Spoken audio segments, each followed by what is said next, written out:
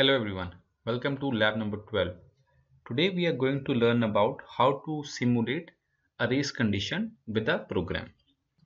There are two things that are required before you start on with this lab. First one is you need to know the basic theory of what is race condition because I'm not going to discuss that in this lab. The link to the video tutorial where I have discussed the race condition in detail is mentioned in the description part the second thing that is required is you need to know how to create threads because we are going to implement this concept of race condition with the help of creating threads. So you need to know how to create threads. I have already uploaded a program on how to create threads so you can refer that. So make sure that you know both these things before starting on with this particular tutorial. Now we are going to create two threads thread 1 and thread 2 in the program. Both the threads are going to call two different functions. Thread 1 is going to call a function fun1 whereas thread 2 is going to call a function fun2. Both these functions are going to work upon a variable whose name is shared and whose initial value is 1. The function fun1 is going to increment the value of the shared variable whereas the function fun2 is going to decrement the value of shared variable. So now if one of the function is going to increment the value, another is going to decrement the value. So this means that the ultimate or the resultant value of the shared variable should be 1 because one of them is going to increment, another is going to decrement. But we are going to create or simulate the race condition which means that the value of the shared variable will not be 1 but it will be either 0 or 2 depending upon which thread runs first. That's the concept of race condition also, which means that the ultimate value is not going to be what you expect because the threads are going to run in such a way that they are going to overlap the working of each other, which result in the race condition. Now, this is the program. So I have created two threads, thread 1 and thread 2. Okay. Thread 1 is going to call the function fun1 thread 2 is going to call the function fun2 there's a shared variable whose initial value is 1 okay? So make sure that the shared variable is outside the main function so that it is accessible to both the functions fun1 as well as fun2 so we are going to create both the threads call them and then finally after both the threads have executed we are going to print the final value of the shared variable okay? Since we are going to simulate the race condition the value will not be 1 it will be either 0 or 2 now what is going to happen in function fun1 is there's a local variable x which in which we are going to copy the value of the shared variable. So since function 1 is called by thread 1 so thread 1 is called first so initial value of the shared variable is 1 so value of x becomes 1 then this particular thread is going to print that value. So you will see that thread 1 reads the value of shared variable. This will be 1 then x plus plus we are going to increment the value of x which is the local value. So after the local update the value of x will become 2 so that will come on your screen.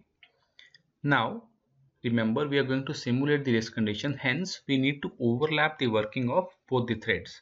So i'm going to use the sleep function which will sleep this particular thread and then this will give the thread 2 a chance to run.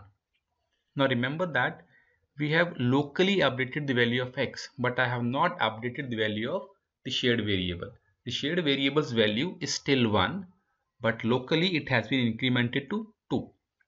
Now it, this particular thread goes to sleep. This means that thread 2 will run. So thread 2 is calling function fun2. So in function fun2 we have a local variable y which copies the value of the shared variable which is still unstable because it has been locally updated but not reflected in the global value. So the value of shared variable is still 1. So y's value becomes 1. Then we decrement the value of y. So y becomes 0 and then we again sleep. So we have again locally decremented the value Sleep means this particular thread will go to sleep and the control will get back to the first thread. Okay. And then the first thread is going to update the value of the shared variable which is what? Local value of x was 2 so shared variables value becomes 2 and then this value gets printed on the screen. So the thread 1 has finished by incrementing the value of shared variable to 2 once the thread 1 gets finished the control comes back to thread 2 which again updates the value of the shared variable to whatever is the value of y. And remember the value of y was 0 so the final value of shared variable becomes 0 this is what is the case in race condition. Okay the expected value was 1 but since the operations of both the thread were overlapped hence the resultant value becomes 0 if the threads ran in the opposite order that is if the decrement happened first and then the increment then the final value would have been 2 okay so let's run this process once. So let us compile this program run it.